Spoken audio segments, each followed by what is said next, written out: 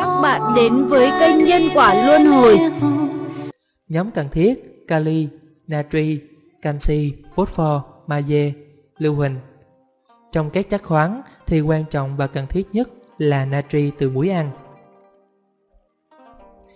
Theo đông y học cổ truyền, muối ăn không độc, đi vào ba kinh, thận, tâm, vị, có tác dụng thanh tâm, lương huyết, nhuận táo, tả hỏa và dẫn các chất vào kinh lạc.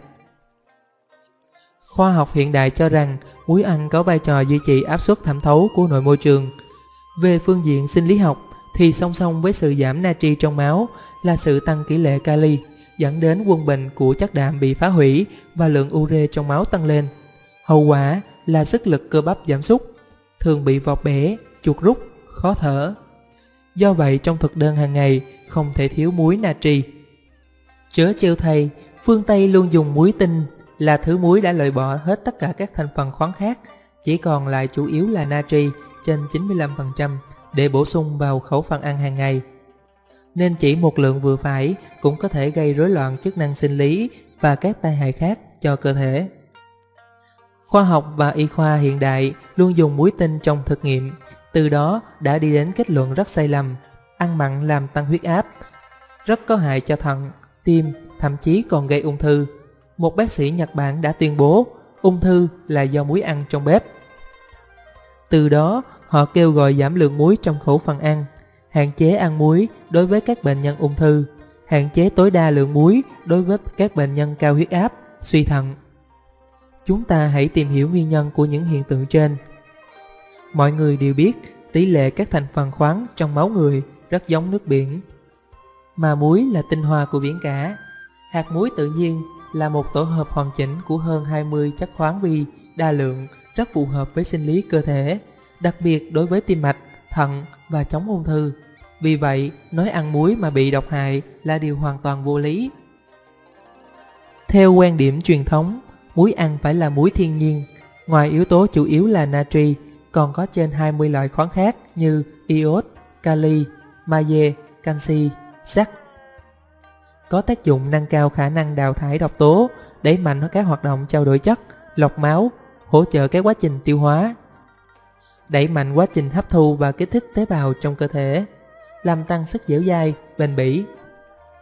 Những người làm việc nặng nhọc khi bị trúng nắng sẽ say sẩm mặt mày, chuột rút, nếu chờ uống nước muối thì chỉ 10 phút sau sẽ tỉnh táo bình thường, khỏe mạnh trở lại. Những người lao động nặng nhọc, các vận động viên tốt nhất nên uống thêm muối để bù đắp vào sự mất muối qua mồ hôi. Mặt khác, không kém phần quan trọng, muối còn là yếu tố dương đem lại quân bình âm dương cho sức khỏe con người. Các võ sĩ, vận động viên Nhật Bản trong những ngày thi đấu thường ăn rất mặn và các thức ăn dương khác để tăng dương tính, nâng cao khả năng chịu đựng và phản ứng linh hoạt của cơ thể. Thiếu muối sẽ sinh ra chán ăn, mệt mỏi, sức đề kháng suy yếu, giảm khả năng miễn dịch. Những người ăn chay do hàm lượng natri trong thực vật thấp hơn trong ăn thịt, nên cần phải bổ sung nhiều muối hơn vào khẩu phần ăn hàng ngày. Trong khi muối tinh chủ yếu là natri, thiếu vắng các thành phần vô cùng quan trọng khác để tương tác, hỗ trợ kích thích mặt tốt, hạn chế mặt xấu của natri. Nên ăn muối tinh sẽ làm thay đổi đột ngột lượng natri trong máu, gây hại cho nội tạng, dẫn đến bệnh tim, thận. Vì thế, trong nhiều phần viết và đặc biệt trong lần thuyết trình, tôi thường nhấn mạnh muối tinh là thứ muối méo mó, què quặt, không đủ tư cách là muối ăn. Bất cứ lúc nào có cơ hội, tôi luôn chia sẻ với mọi người nên ăn muối hạt và muối hầm, tuyệt đối không ăn muối tinh hoặc muối iốt. Những người uống ít nước và ăn hơi mặn thì dù có làm việc mệt nhọc hay ở nơi nóng bức cũng không khác. Rất ít ra mồ hôi, sức khỏe dẻo dai, sức chịu đựng bền bỉ, khả năng đề kháng tăng cường.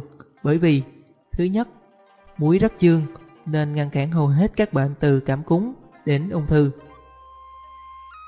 Thứ hai, muối là chất tạo nội môi trường kiềm mạnh nhất nên giúp tăng cường hoạt động của nội tạng, đẩy nhanh quá trình đào thải độc tố và chống ung thư rất rõ rệt, đặc biệt là ung thư máu. Morishita đã trộn thức ăn với muối cho những con gà con bị bệnh ung thư máu ăn. Sau một thời gian nhiều con trong số đó đã hoàn toàn khỏe mạnh trở lại. Thậm chí, theo Osawa, muối còn ảnh hưởng tích cực đến khả năng suy đoán của con người. Sau đây là một vài điểm cần lưu ý khi sử dụng muối ăn. Muối tự nhiên có nhiều tác dụng rất tốt mà muối tinh không thể thay thế được. Mọi tác hại của muối mà Tây Y đã tổng kết chỉ là do muối tinh hoặc đúng với muối tinh, một loại muối bị mất tính chất tự nhiên, đã méo mó, què quặt, gây ra mà thôi. Nếu dùng muối thiên nhiên chẳng những không có ảnh hưởng xấu mà còn có thể phòng và chữa khỏi các loại bệnh do muối tinh gây ra. Chớ treo thay, nước Mỹ có tỷ lệ dân số mắc bệnh tim mạch cao nhất thế giới và là bệnh gây tử vong hàng đầu. Nhưng với những người giàu có như họ thì muối ăn đương nhiên phải là muối tinh nên chẳng còn nhận biết được sự sai khác về chức năng giữa muối tự nhiên và muối tinh. Vì thế, các nhà y khoa nước này đã đưa ra chủ trương giảm lượng muối trong khẩu phần ăn để phòng ngừa bệnh tim mạch. Quan niệm rất sai lầm này đã ảnh hưởng sâu rộng đến y khoa, dinh dưỡng học ở nhiều nước, kể cả Việt Nam. Nên người ta luôn kết tội muối là nguyên nhân gây hại cho sức khỏe và khuyến khích mọi người ăn nhạt. Thật là một chủ trương xuất phát từ sự hiểu biết quá nông cạn, phiến diện, sai lầm. Vì muối tinh chỉ là một thành phần hạt muối tự nhiên. Mọi kết luận của y khoa học, y khoa về muối đều xuất phát từ một phần của tổ hợp tự nhiên, hoàn thiện nó nên chỉ là một phần của sự thật, mà một nửa của sự thật còn tệ hơn cả sự lừa bịp, theo Osho. Các nhà thực dưỡng theo trường phái Osawa khuyến khích nên dùng tương miso hoặc tamari từ 3 năm trở lên thay cho muối. Vì chúng có đủ mọi thành phần của muối tự nhiên, có hàm lượng natri cao, tạo nội môi trường kiềm rất tốt. Nhưng vẫn đầy đủ các khoáng chất khác, lại nhiều đạm, nhiều lượng vitamin B12 là chất có ích trong thực vật. Tương lâu năm có chất cicicobin, tác dụng đào thải kim loại nặng trong cơ thể rất hiệu quả. Ngoài ra, đậu tương thuộc thực phẩm khó tiêu, nhưng trong tương lâu năm thì các thành phần của hạt đậu đã chuyển hóa triệt để thành các axit amin nên rất bổ ích và dễ hấp thu.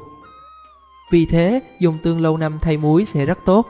Bản thân tôi có một thời gian hơn một năm chỉ ăn tương lâu năm tự làm, thay cho muối nên sức khỏe luôn trong tình trạng sung mãn.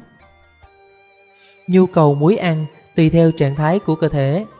Nhìn chung, người ăn nhiều thịt cho có nhiều natri thì chỉ cần ăn từ 5 đến 10 gram muối mỗi ngày. Người ăn nhiều thảo mộc là loại chứa nhiều kali nên cần bổ sung nhiều hơn từ 20 đến 30 gram mỗi ngày. Người lao động nặng ra nhiều mồ hôi nên cần ăn mặn để bù cho những lượng muối đã mất. Mặt khác, ở mỗi giai đoạn của cuộc đời, cơ thể có nhu cầu về muối khác nhau. Trẻ con và người già dương tính cao nên ăn nhạt hơn, người trưởng thành âm hơn nên cần ăn mặn để duy trì sự quân bình âm dương của cơ thể. Chúng ta đã thấy muối ăn có tầm quan trọng như thế nào đối với sức khỏe và đời sống của con người. Vậy mà xã hội hiện đại đã loại bỏ những thành phần khoáng khác, khiến hạt muối từ chỗ tinh hoa của biển cả, một chỉnh thể hoàn thiện, đã trở thành không đủ tư cách là muối ăn. Mọi người lại chỉ ăn thứ muối ấy. Muối iốt hiện nay gần như là loại muối trộn thêm iốt đã phổ biến, tràn lan sâu rộng khắp thị thành, nông thôn, miền núi xa xôi hẻo lánh để phòng chống bệnh bướu cổ.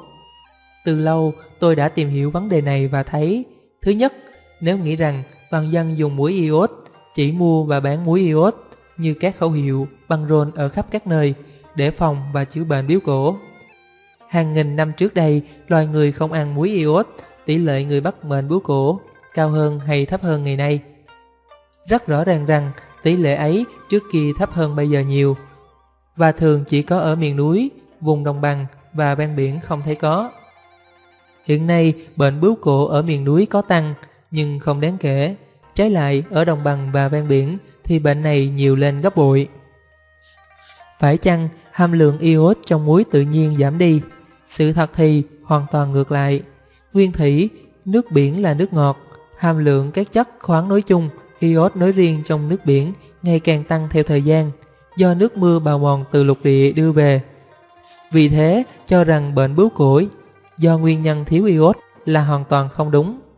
Thứ hai, bệnh bướu cổ chủ yếu tập trung là ở nữ giới, là những lao động chính trong nông nghiệp.